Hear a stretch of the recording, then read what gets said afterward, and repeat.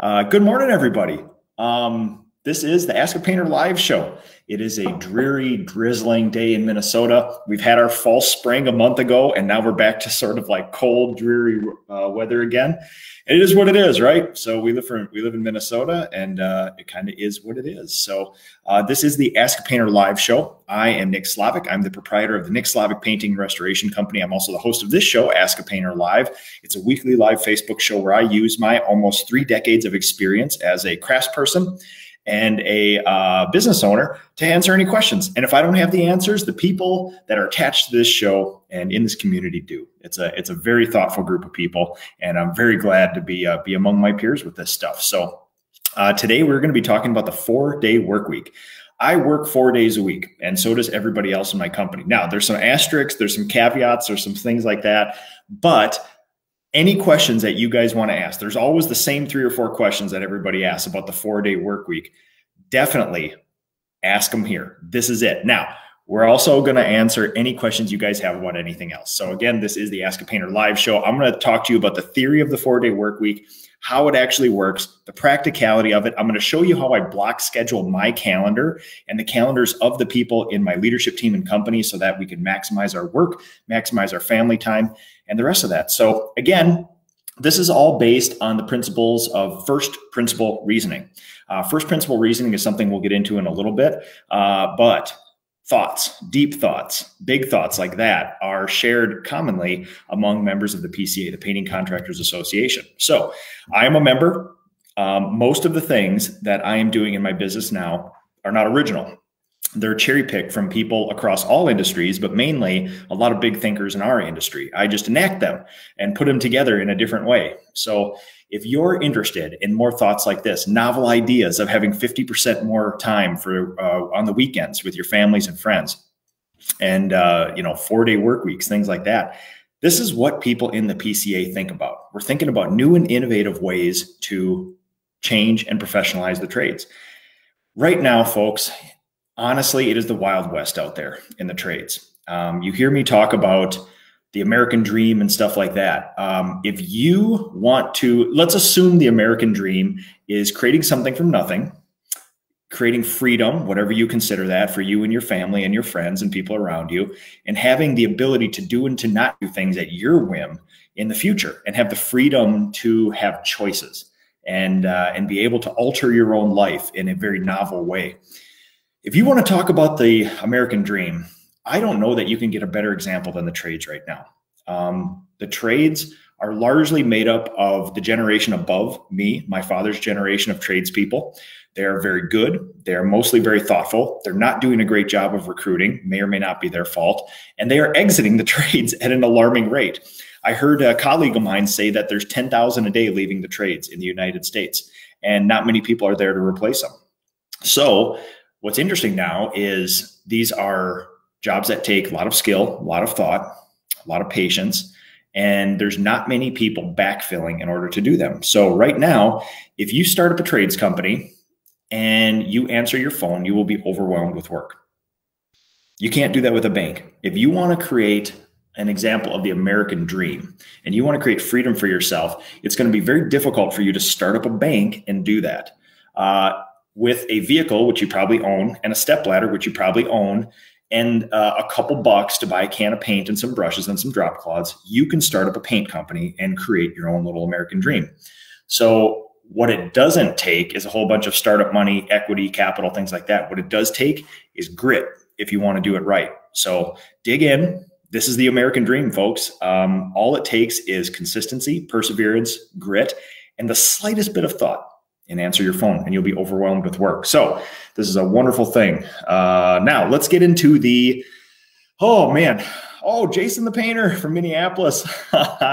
so last, uh, yesterday, uh, Jason, Jason Miller, uh, everybody knows him, Jason the painter, the famous guy from Instagram a close friend of mine in the industry and close friend uh, outside of the industry came down here to the uh, Slavik farm, Slavik house, Slavik shop. We did the tour, everything else, and it was uh, awesome. I love Jason. He is a big thinker. He's an influencer in all the right ways. And uh, I love following him on Instagram. If you guys don't, I would definitely do that. But we had a wide ranging conversation. Uh, we toured my shop, we toured the war room, we looked through my house, we looked through the, the, the Slavik farm, and we went down to our local uh, Giesenbrau uh, brew pub down there uh, where we have happy hour. And uh, as coincidence would have it, estimator Andy, the beloved estimator Andy, was down there as well, getting some food for his family. So we all grabbed a homemade beer and uh, yeah, just sat there and uh, it was a great time. So thank you for the conversation, Jason. And I, I never get sick of that. Let's do it again. So, um, okay, folks, let's get into this. Drop all of your questions down below in the comments about the four day work week here. I'll give you some perspective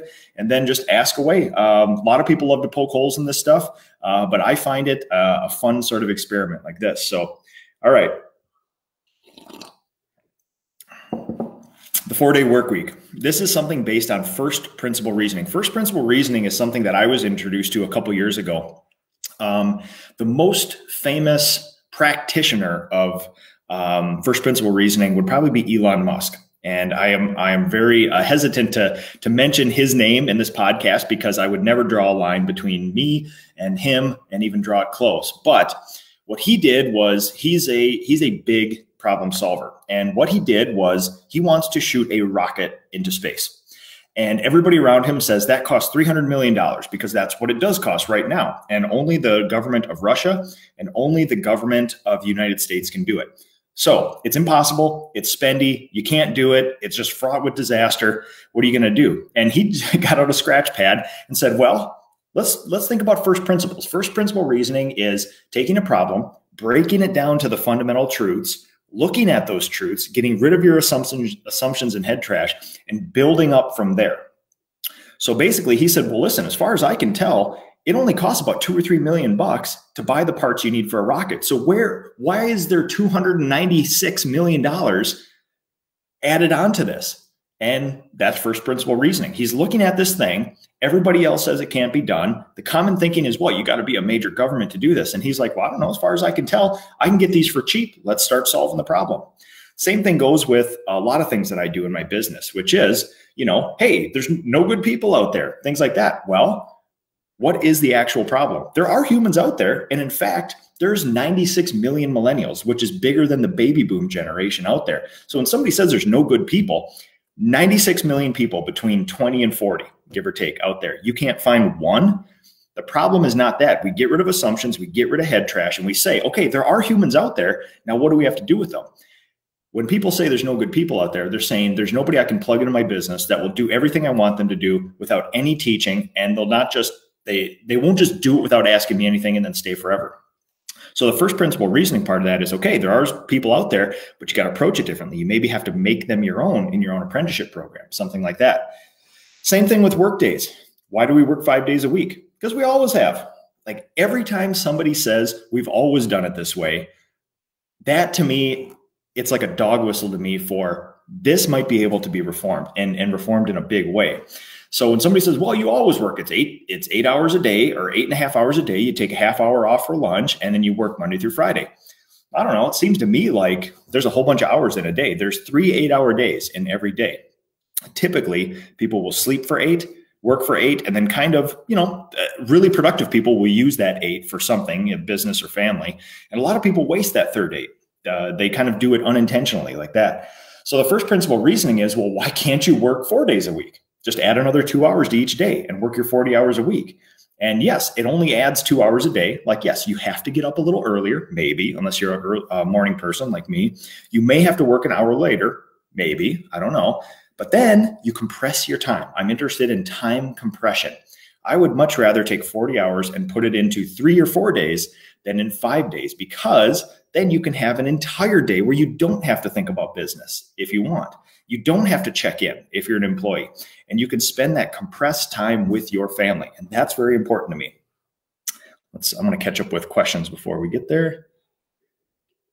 Oh, yeah. Uh, Cincy Haas painting. How do you structure your family life around the 10 to 12 hour day during that four day period? So here's a question from Instagram. So the difference, how I make this work is having very strict um, sort of boundaries around family time and things like that. Um, I, I'm going to be very honest with you guys. I make up for all the time that I need to do stuff early morning. I'm an early morning person. I'm up at four every day, and between four and six every day, I get most of my work done that I need to for the day. Anything that was sort of lingering from the last day, setting all the uh, you know foundation for for success for the day is all done between four and six in the morning. Just super productive time logged in. I got my cup of coffee. The lights are dim. We got music playing, and it's just go, go, go produce.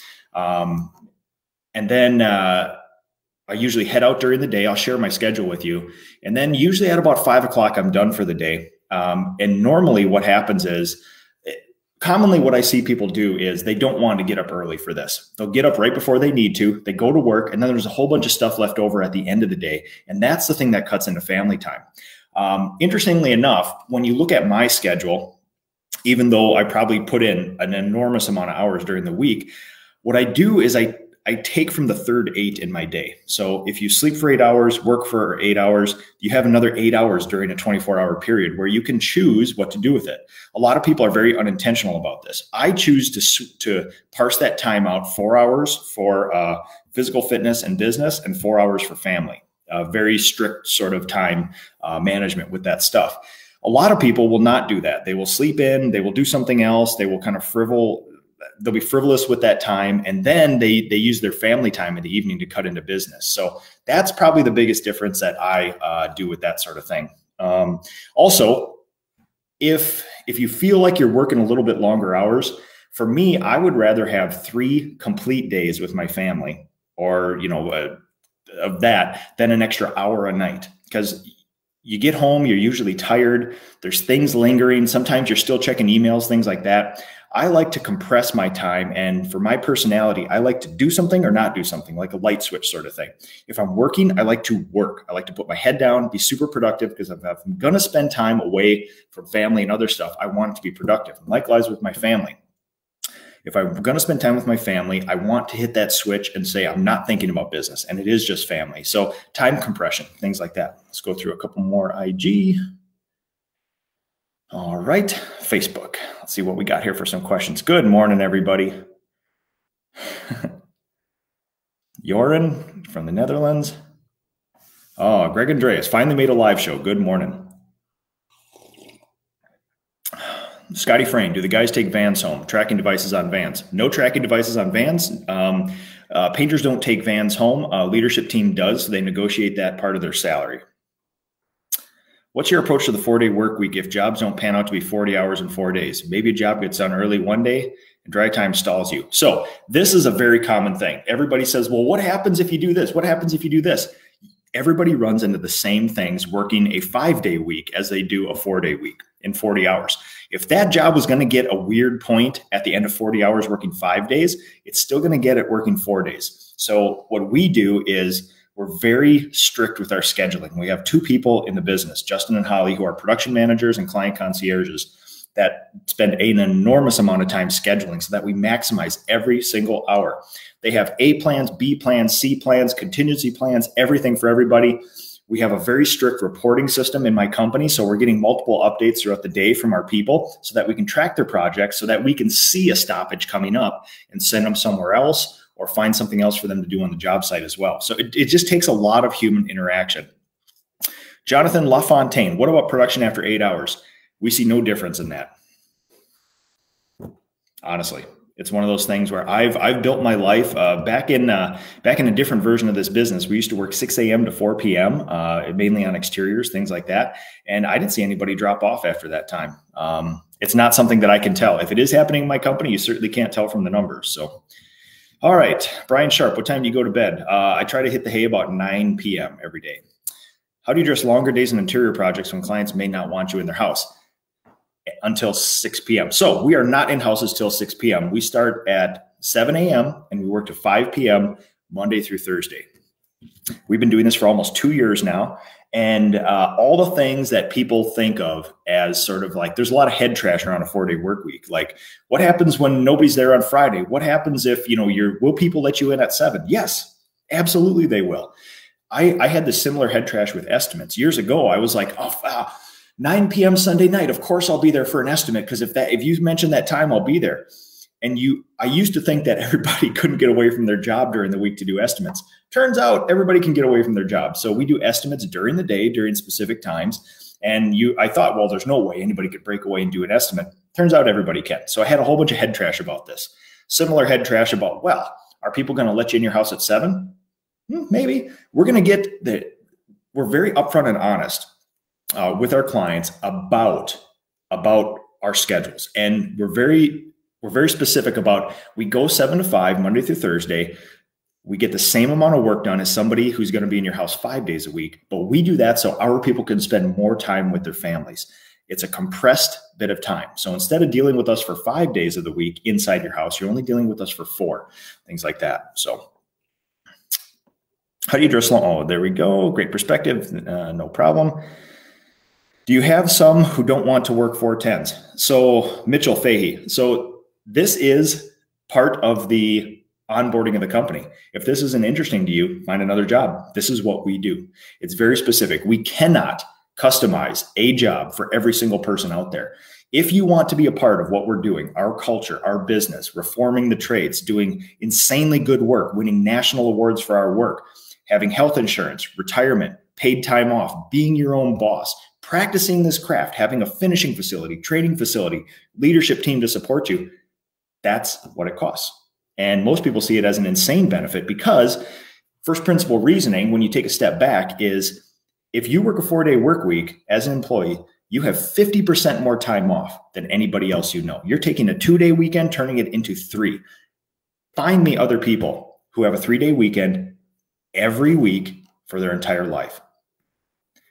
When you take another step back, you realize I'm only asking about 16 days a month. On average, you have between 13 and 15 other days in the month to do whatever you want with. That feels good. That feels really good. Typically, there is 261 working days in a year. With a four day work week, I think it's 210, 218, something in there. That is not a lot to ask. So, yes, you might have to wake up a little earlier unless you wake up that time anyway. You may have to spend a little bit later time at work. Maybe, maybe not. Bankers work till five. We work till five.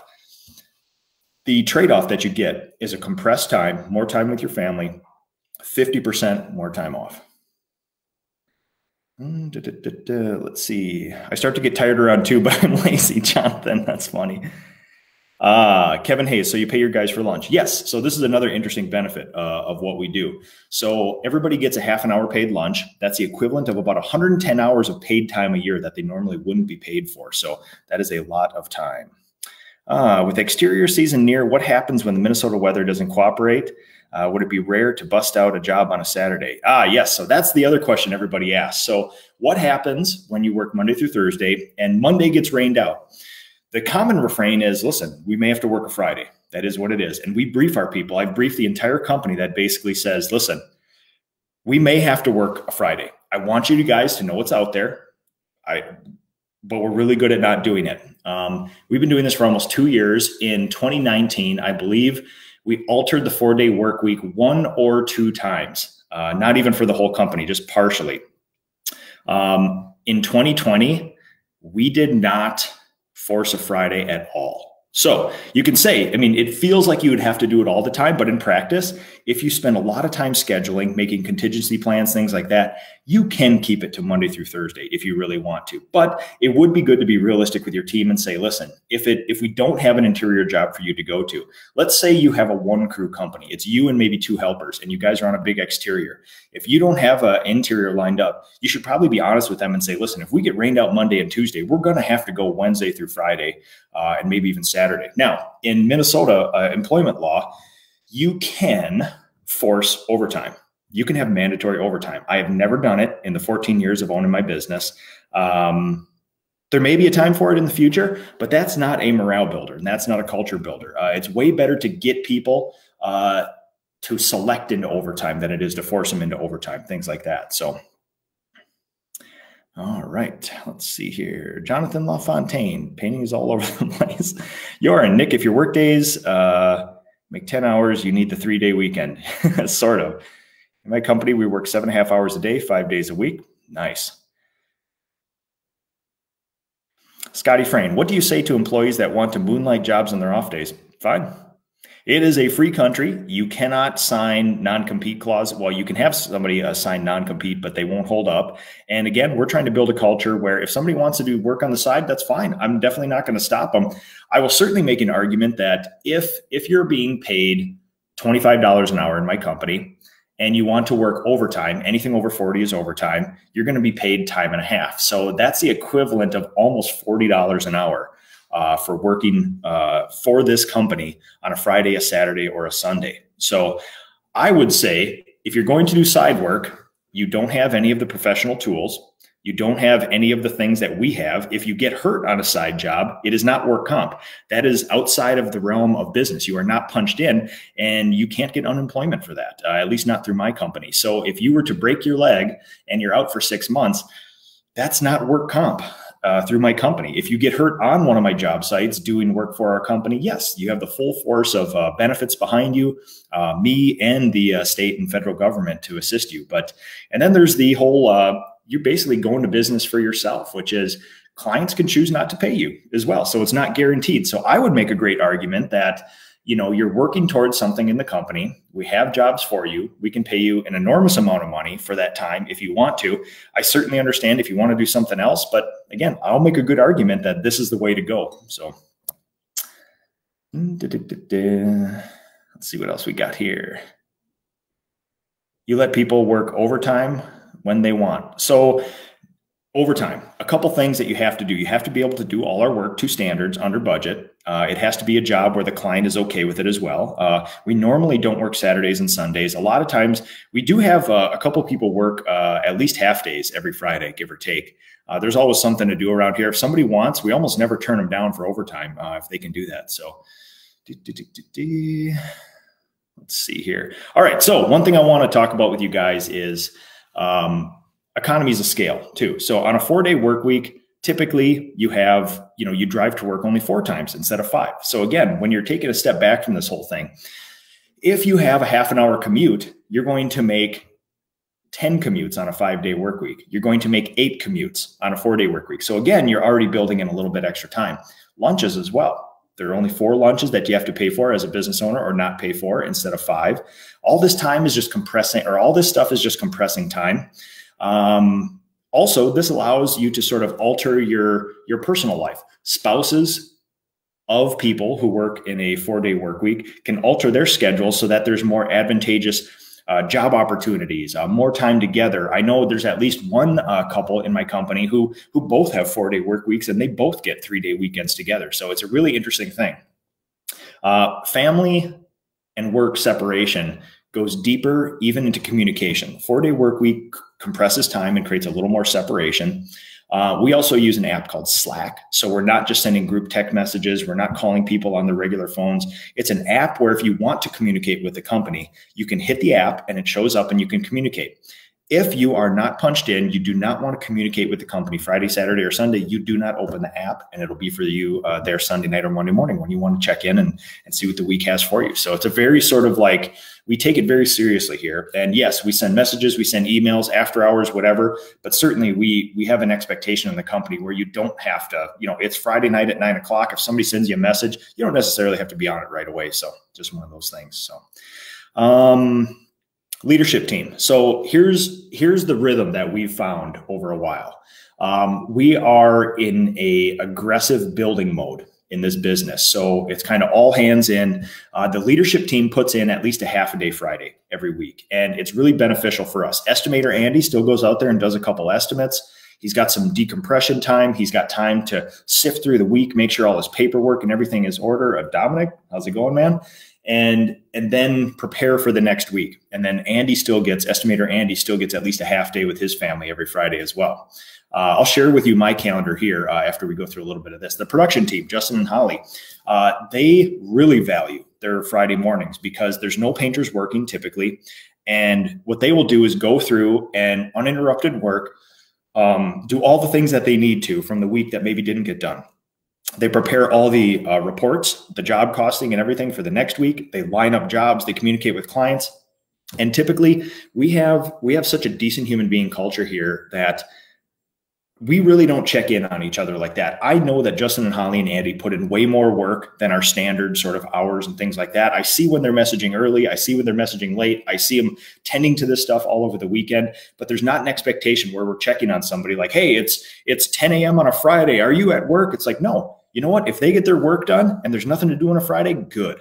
That's what we're planning to do. I say we're in aggressive growth mode in this company because it does require a lot of effort. It requires a lot of early mornings from me. It requires early and early mornings from them. It requires Friday work. The eventual goal of this company is basically to have everybody on a four day work week. And we'll get there.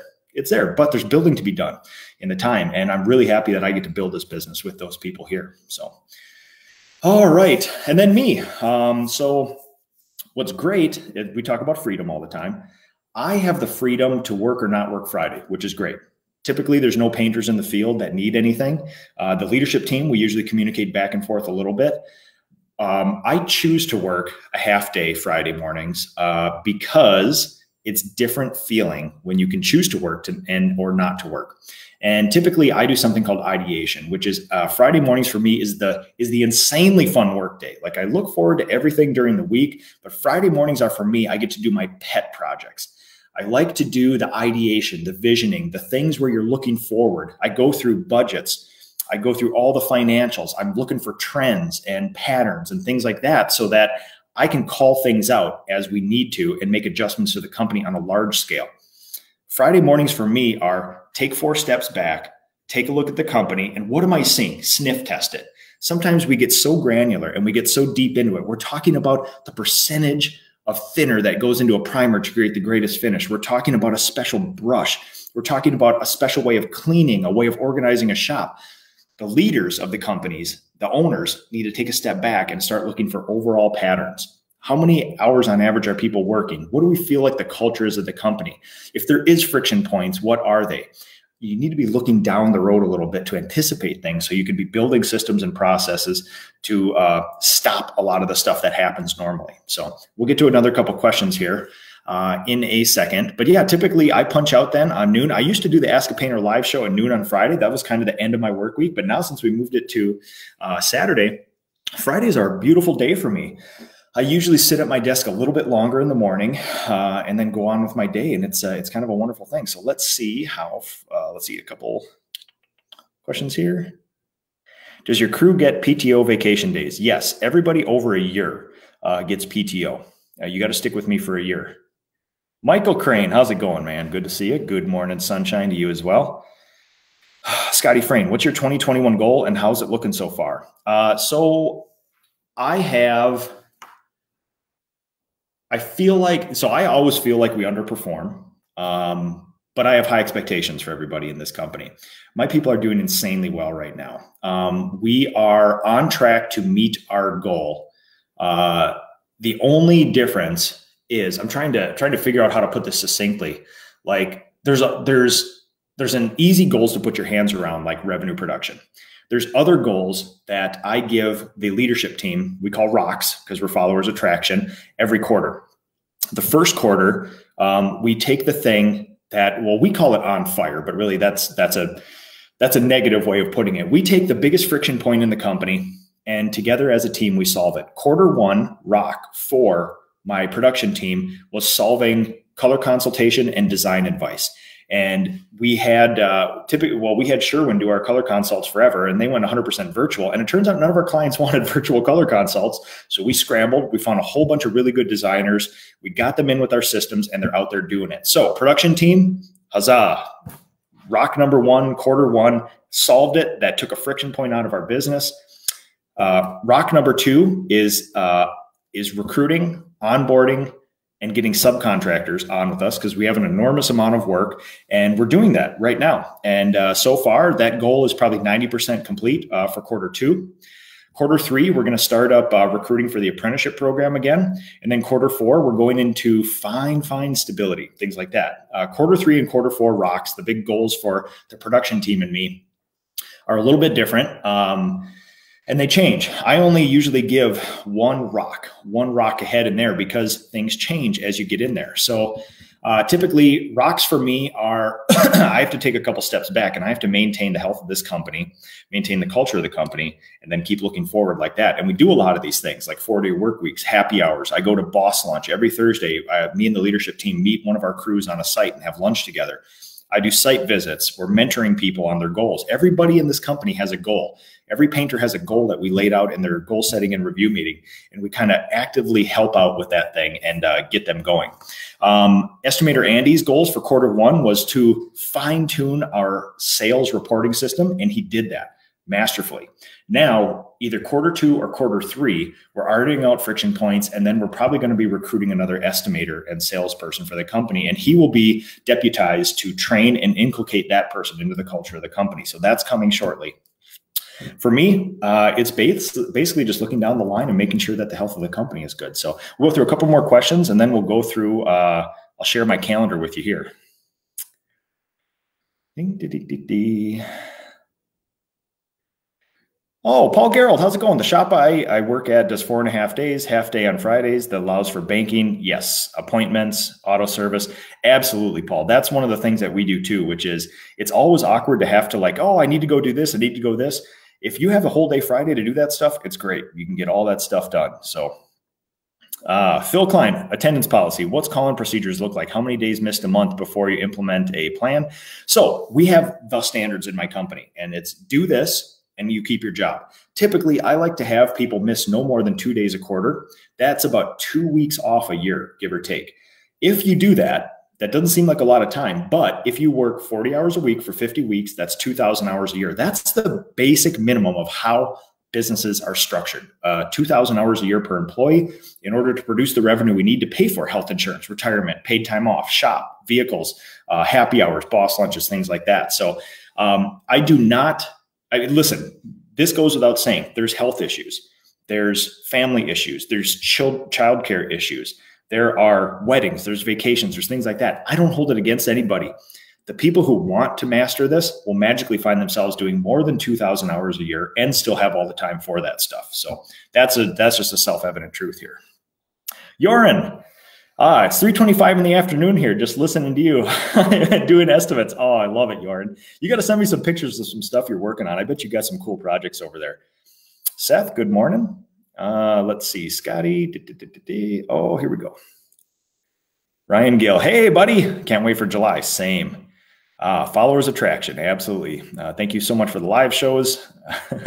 so many companies would never be open. Listen, man, uh, I was very fortunate enough to to have a lot of people share things with me, and I would be selfish and greedy to not pass those along as well because it legitimately has changed my life. So. All right, uh, Kevin Hayes. I have me plus three employees. Is there a way you could suggest to ease into four day work week or just go straight into it? The best thing you could do is do an experiment. So and get your team involved with this. Say, hey guys, I got an idea. Number one, what do you guys think about a four day work week? What do you guys think about having 50% more time off? And you'll probably get a lot of questions, the same questions that come up here. And you say, hey guys, here we go. Two weeks from now, we're going to try it for one week. We're going to go 7 a.m. to 5 p.m. Monday through Thursday. Let's give it a good experiment. Let's have everybody show up. Let's all hands on deck. And at the end of it, we're going to have a little meeting and we're going to go over the friction points what worked well, what didn't, what would you change? Is this something we want to do? And just give somebody an experiment. You don't have to completely retool your company. Just say, for one week, we're going to give it a try. Let's do it together and let's see what we think and get some feedback. And if you include them in it, they will not, um, if they bristle at the, at the, thing uh, at the idea of a four day work week. If you include them in it, they're going to take a little bit of ownership in that.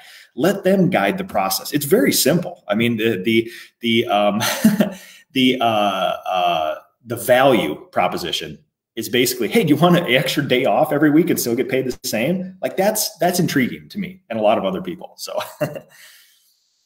Oh, let's see here. Did the shutdown affect your business? Uh, Jonathan LaFontaine. Uh, it depends what shutdown, but yeah, 2020 we saw two periods uh, of uh, of stuff, weird stuff go on in our company. I initially let in the spring of 2020. Uh, I let everybody decide whether they wanted to self quarantine or not because I didn't know what this thing was. Nobody did. So it's better to just say, what do you want to do for yourself and your family and your safety? Just do that. And then uh, there was a assumed um, da, da, da, there was an assumed COVID test positive test in my company in the fall. And again, we can't ask for that test. We can't prove it. But for the safety of my company, I shut it down for two weeks, paid everybody, and we moved on from there. So it is what it is. Jonathan LaFontaine, what about drive time? Uh, drive time is not paid in my company, except if you're going between job sites or if you do a substantial amount of work, material work, and then drive somewhere. It's pretty simple policy, uh, industry standard. Let's go through some in IG. Oh, yeah, here we go. All right, everybody.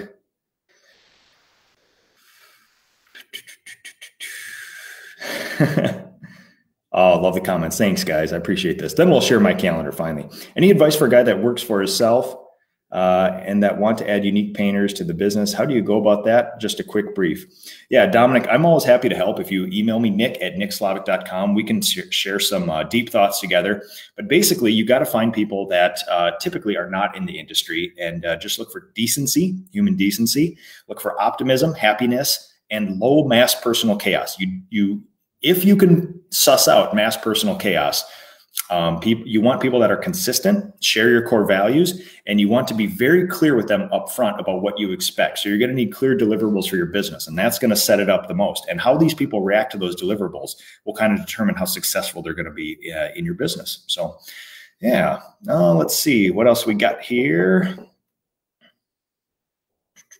Is word of mouth still the gold standard of advertising? Is there another more effective form to invest in? Ask because the first couple of years and the vast majority of my work has been repeat customers. Yes, Wild Acres Construction, that is the best. If if you could, if I could only do business from word of mouth, that they're not only are they already vetted clients normally, it doesn't cost anything. Now that's a dream. You can word of mouth and referrals will only get you so far.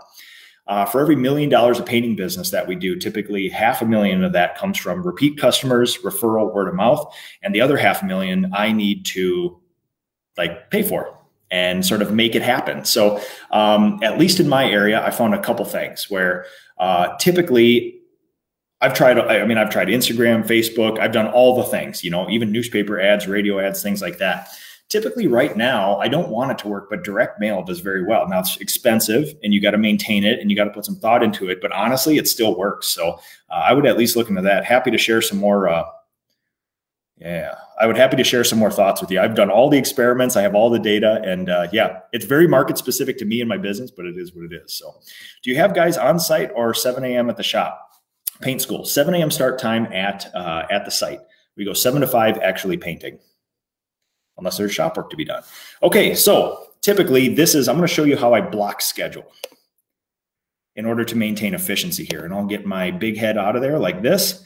All right, so this is a typical week. Um, uh, that my schedule. Uh, Google Calendar is a beautiful thing.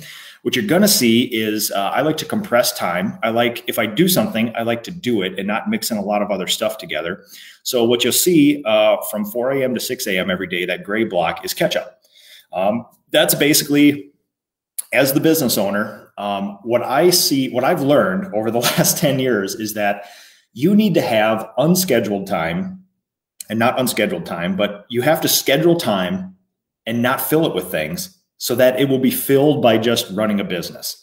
Um, typically, if I had to give advice to business owners who are feeling the stress of there's so much to be done, there's so many emails, so many calls, so many things to do, schedule at least a half day every day of reaction time.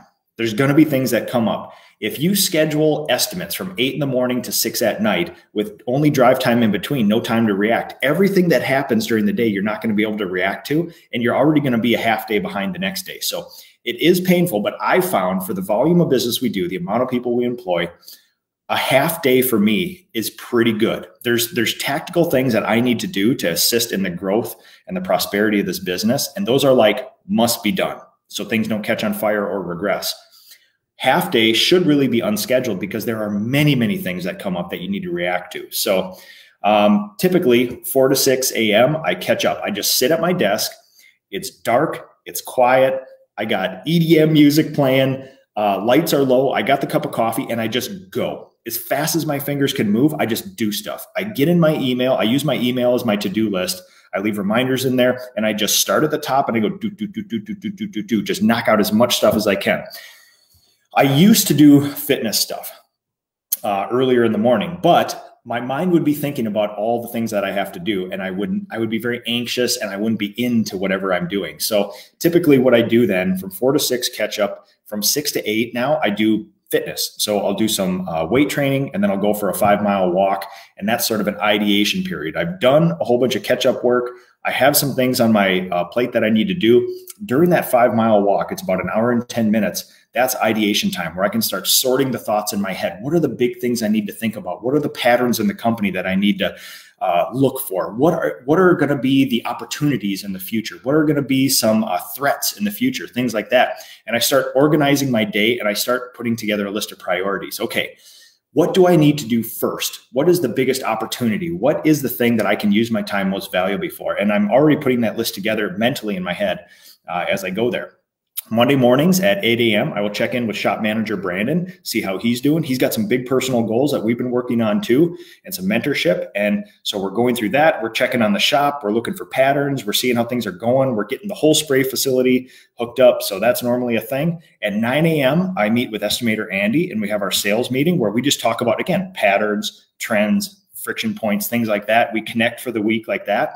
And then from 10 to 12, we have the leadership team meeting where Andy, Justin and Holly, the two production managers, estimator, and me, all get together in the war room and we go through my very succinct, uh, very specific list of uh, our leadership team meeting where we go through the job costing, we go through our baselines, we talk about issues in the company, we check in on the rocks, on the goals for each person, and then we talk about very specific things. We IDS, identify, discuss, and solve. So we identify things that need to be solved, we discuss them, we make solutions, we assign it to somebody, and then we move on for the day. And then typically in uh, Monday afternoons, it's a lot of catch up because when I take myself out for a whole morning of meetings like that, um, there's just uh, stuff accumulates and you need to, you know, kind of go through that. Typically Tuesday, Wednesday, and Thursday, same morning routine, but I usually try to get out into the field to either coach, mentor, visit something, just circulate around, looking at the job sites, maintaining the SOPs, stuff like that. Uh, and then, uh, you know, typically the lunch and then the afternoon, I, I catch up again, uh, do some business development. Uh, the green blocks you see in the afternoon are kind of uh, things that I call business development, which are if there's emails to be answered, uh, estimates to be adjusted, issues from painters in the field, we take care of that. And then I start working on the things that need to be done for the business. So again, I spend a lot of time going over financials, maintaining those, main, maintaining a cash flow, checking up on accounts receivable, and then just corresponding. You know, there's a lot of big accounts and big relationships that I manage through the business. And yeah, that's what I kind of do in the afternoon. And I always spend a little bit of time, probably 10 minutes, 15 minutes every hour, just maintaining, looking at Slack, looking at the leadership team, corresponding, like getting getting all the things done there. And then every day between four and five, at the end of the day, I like to do a little bit of ideation where I find it very valuable to force myself to stop and think. If your whole day is spent reacting to text messages, to calls, to emails, to this and that, your brain never takes three seconds to start the logical thinking steps. When I take that morning ideation walk, you're forcing yourself not to look at a screen, not to have a pencil, not to have a phone in your hand. And your brain is taking the many, many steps that it wouldn't take in logic. That when you're just locked into all this reaction, your brain can't take time to just sink in and do a deep thought once in a while. So for me, I like to decompress at the end of the day. I like to think about what's happened. And again, I look for patterns and, and things that need to be addressed in the company like that. Uh, basically Tuesday and Wednesday the same. Uh, Thursday, uh, I give a company update. Sometimes we do a virtual meeting uh, via Google Meets. Uh, sometimes we just put something out on Slack as a list of, hey, here's what's going on in the company. Here's the next happy hour. Here's the next craftsperson meeting. Um, we reserve an optional production meeting uh, Thursday midday in case the production managers need it. Typically, we we do this when there's a whole bunch of schedule changes, or a lot of times during the summer when the weather hits um, and there's changes all the time. We'll reserve that Thursday for okay, quick, let's all meet in the war room again. Let's talk about schedule before everybody breaks for the day. And then Thursday, uh, 11 to 12, I do a boss lunch every week. So I typically go to the most advantageous job site, try to hit everybody every once in a while, bring lunch. The whole leadership team is there, and we talk about the job, we talk about personal stuff, whatever. But it's kind of fun to just bring lunch, all sit around, uh, and then just kind of talk like that. Uh, and then again, uh, afternoons, uh, kind of ideation. And then Friday morning, when I get up, I usually keep the same morning routine, the catch up and the fitness. And then it's basically like pet projects, like I want to do, like doing visioning spreadsheets where you're doing thought experiments and you're and you're trying out new things or maybe we're going to reform our safety plan so i dig around for content and put it all together you know just things pet projects that i like to do so. All right let's go through another couple questions here. How many hours do you sleep? I feel like you're max six hours. So i actually get at least seven hours. So i go uh yeah, 9 p.m. to 4 a.m., give or take seven hours. And it doesn't mean you're not tired, but, uh, you know, it just, I feel like everybody's got their own rhythm. I envy those people who can get six hours, five hours and keep going. Most people don't. And I'm not one of those people who like, oh, I don't need any sleep, this and that. No, everybody needs sleep. I find myself, you know, back in the days when I used to just really, really overwork myself, um, I find that when I start getting tired, I notice those signs as my back start, my lower back starts getting weak. Like you find your posture kind of going weird and your back gets a little sore. And then you start losing interest a little bit in what you're doing. You're maybe not as fresh, not as thoughtful, not as intentional as you were at six or seven in the morning. And that to me is a sign of like, I can grit through and do that, but that's tough. You don't want to do that all the time. So, all right, let's go through some Facebook messages here. Do, do, do, do,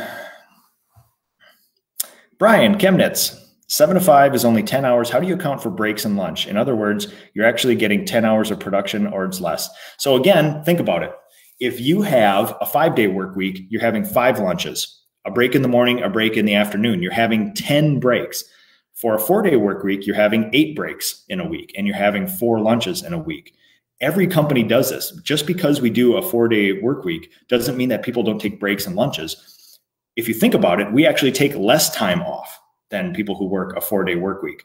We're still doing 40 hours, but there's only eight breaks, eight 15 minute breaks, and four lunches instead of 10 breaks and five lunches in there. So yeah, it is what it is. Uh, in a in an eight hour workday, you're actually getting you know tech technically you legally where I'm from, you have to give them access, you know, a break in the morning, break in the afternoon, and a lunch like that. So really, in an eight-hour day, theoretically, there's an hour where people aren't working. In uh, in my business, on a four-day work week, they're working ten hours with an hour that they're not working. So there's nine hours of production each day. So we're actually getting more production out of 40 hours than a uh, than a five-day work week. So. To Jonathan LaFontaine. We're experiencing a construction boom, Madison, Wisconsin. The contractors are working subs without contracts and paying them what they want at the end. It's a mess. You don't have to mess around in that world. So um, it's tougher to build a client base from residential repaints, but when you do, you're completely free of general contractors and things like that. And now, general contractors are okay. A lot of them are fine, but a lot of them will grind you to a pulp, and you don't have to do it because there is an insane amount of work out there from private clients who will value you. You can gain their trust. You can you can work in their homes, and you're not going to be under the gun of general contractors. So we work for general contractors, but it's a select few that share our core values and don't chew us up like a meat grater. So, Scotty Frayne, self reflection is so important. Well said. Well said. Kevin Hayes, same here. When I work too much, my lower back lets me know. Absolutely. Does your wife have any involvement with the company? Does she like the four day work week that you have? My wife does not have involvement with the company. We're very intentional about that. Uh, years and years ago, we had lots of discussions about do you want to be a part of this? Do you not? Um, I'll get rid of my schedule here. Um, I have a lot of data points on this stuff. Uh, I respect uh, I respect her decision with that because I came from the worst version of a family business where my father worked me like a dog. Saturdays, Sundays, evenings, every holiday, every weekend, all that stuff. And uh, that's how I grew up. And that was my base of knowledge. And I had to reform myself over the years. And my wife had a big hand in that, saying, You need to be around evenings and weekends. You need to do this. And at first I pushed back. But then after you did it, you realize it's a much wiser way to go. My father also forced my mother to work in the business, forces her to do all the bookwork, do a lot of that stuff. He even forced her to paint. Uh, she would, it was a very, very regressive sort of work life relationship because my father, what he did very poorly was guilt his family into working. And that's not something an employer can do with a stranger or an employee because they don't have that father son uh, spouse relationship. So it's a very, very toxic thing to do. Um, so we had a very intentional discussion whether my wife wanted to be involved in the business or not. She did not. I'm glad for her. She was a school teacher. She now stays home with our kids. She has arguably sometimes more to do than I do in, in most work weeks. Um, my father had this thing where he would push my mother away from the business, have her get a real job somewhere, and then he would get overwhelmed with work, make her quit her job, and rejoin the business and do manual labor. And uh, my mother is an amazing, amazing wallpaper hanger, painter, craftsperson, but that's not the way that it should be done. Uh, it's uh, it's the way that I was raised in it, and it gave me a sour taste in it, and I will not repeat that sort of thing. So, yeah. All right, folks, I think that's about it. Uh, I will be monitoring this afterwards in case you guys have any questions. But this is the four-day work week. I would I would urge you guys not to. I mean, this is this is not for everybody. It's fine. It's a novel idea. There's some things. There's lots of pluses, a few minuses that come with it. But the four-day work week for me is a way of first principle reasoning when everybody says this is the way we've always done it, we've always used that primer, we've always used that brush, we've always used that truck, we've always estimated this way, we've always marketed this way, we've always worked five days a week. That to me is ripe for innovation. I would I would urge every single one of you big thinkers to take a couple steps back from your business and if there are any things in your business that are we've always done it this way, I would attack that. I would first principle reason it, which is basically get rid of your assumptions. If you can say it can't be done, stop it. Can it? There's nothing stopping you from doing most of these things. It's just this head trash that we all have. Boil it down to the basic fundamental truths. And there's a fly buzzing around me. Uh, boil it down to the basic fundamental truths. Look at those fundamental truths and then reason up from there. What is stopping you from doing a lot of the things you want to be doing? It's mainly us. And it's mainly a head trash, this assumption that we had. What stops you from having enough time to taking care of yourself, fitness and, and diet wise? What stops you from having enough family time? What stops you from doing 30 estimates a week? What stops you from hiring people? Well, there's no good people out there. There's not one good person in this entire universe that you can find. I live in a town of 8,000 people. There's not one good person in that town you can find to work for you mainly head trash. So anyway, I get I get pushy with that stuff because those are the things that I dwelled in for most of my professional life. I wasted a lot of years not doing these things sooner. I do not want the same for you guys. So I would say right now, attack those things. First principle reasoning. We've always done it this way. Look for those and start finding ways to innovate. This industry, the trades, not just painters, the trades as a whole needs you guys to do this stuff. We are not going to recruit the best and the brightest, the big thinkers, the innovators, the changers, if we do everything the way that things were always done. So, one more question Legendary painting. How did you break the cycle from the bad taste you had in your dad's company? First principle reasoning. I made a list of all the things that were horrible about myself and I started working on them intentionally to fix them. Now, I would I would never tell you that that is list is complete and a success, but again, we've always done it this way. My father drove a half ton pickup truck everywhere he went. So what did I do when I started my business? Half ton pickup truck. Pretty soon you realize, why am I driving around a $38,000 truck? I can't even fit a sheet of plywood in the back. So I bought a $9,000 van. I can put a sheet of plywood in the back. I can carry all the tools I need. I can put eight extension ladders on top. Cheaper to buy, cheaper to run. Why do we use pickup trucks? I'm not hauling anything. What are we doing? First principle reasoning. I got rid of a lot of that stuff by having accountability partners and having people call me out on my BS, honestly. Pretty soon you look around. I had somebody tell me one this is this is the stupidest simplest thing, but it is most effective. I have an accountability partner where I was listing out things that just consume my time. I was like, I can't. This is a burning feeling. It's just like I think about it all day and night. And they're like, What are you doing about it? I'm like, well, I mean, I don't have time to do it. I, I all I do is think about it. He's like, if you think about something that much, you should probably do something about it. That one statement that somebody gave me like that shamed me into changing lots of things about myself. If you think about this that much, why aren't you doing something about it? There's no good people out there. I want to hire. I want to see what that's like. I want to hire my first employee. Just do it. Just do it. Stop thinking about it. Just do it. If you think about it so much, why don't you do anything for it? action is the key. So thank you guys. I absolutely love this. Uh, thanks for the Saturday morning stuff. And uh, God, PCA, if you want more of this, if you want a group of people to call you out on your head trash and push you and do first principle reasoning, look to the PCA, the Painting Contractors Association. I have a list of dates uh, that I'll be traveling the country now, uh, starting in May, uh, on the Ask a Painter Live website uh, or Facebook page. So get there.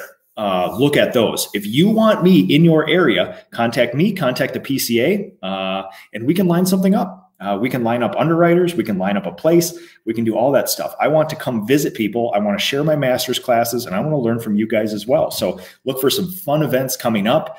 Uh, we're we're just forming a Northeast tour. So two years ago, if you guys remember, I did the Vermont, the New Jersey, the New York, the this, the Boston, the this and that. We are creating that once again. So look forward to that. And everybody else, have a great weekend, and we will see you later.